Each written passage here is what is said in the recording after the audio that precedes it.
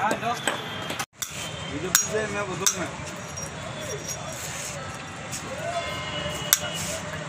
हाँ, तो हमारी कारीगर की फ़ोटो ले लेता भाई।